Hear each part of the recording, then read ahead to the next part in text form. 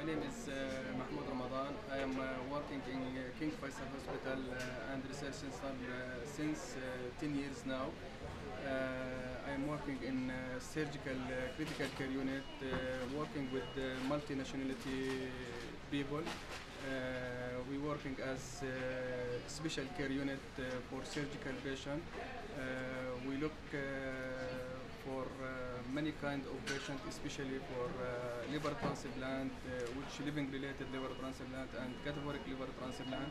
We look after also lung transplant and we have different uh, surgery like uh, laparotomy, like femoral bypass and we have also uh, kidney transplant patient. Uh, we have high dependency unit which critical ill patient dependent on mechanical ventilation and with the dependence also with uh, inotrope support and uh, we have also uh, working with uh, many consultants with many many different nationalities uh, and uh, we work as a teamwork here uh, with uh,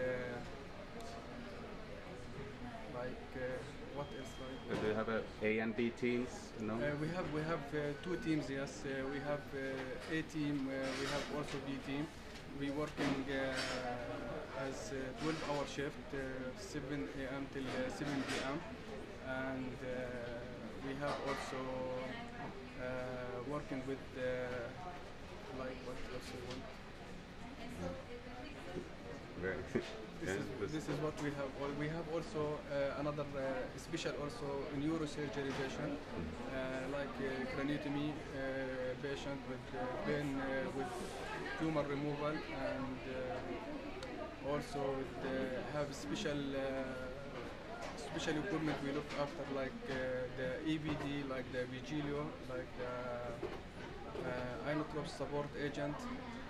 This is mainly what we work with. Okay, cool. Thank you.